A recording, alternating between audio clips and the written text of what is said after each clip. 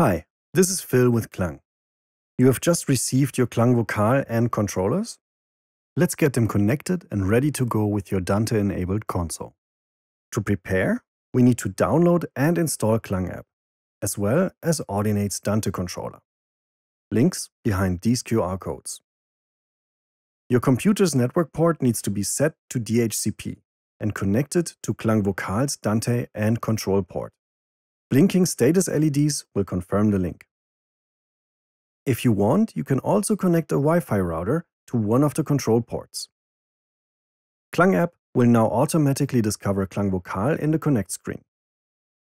Next up, audio. In this case, a Dante network connection between your mixing board and Klang Vokal. Press and hold the config button in Klang app to access admin mode. System settings will let you choose your sample rate and whether you want to use EQs.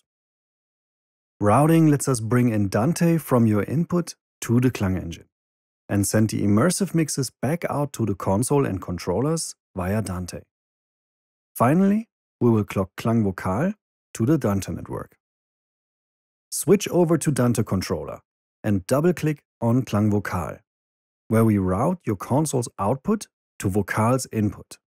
And if you want to queue or distribute mixes on your console, also vice versa.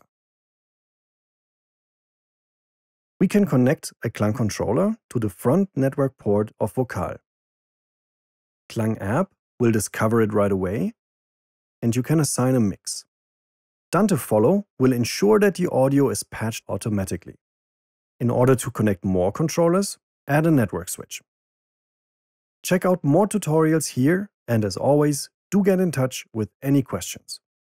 Happy immersive mixing!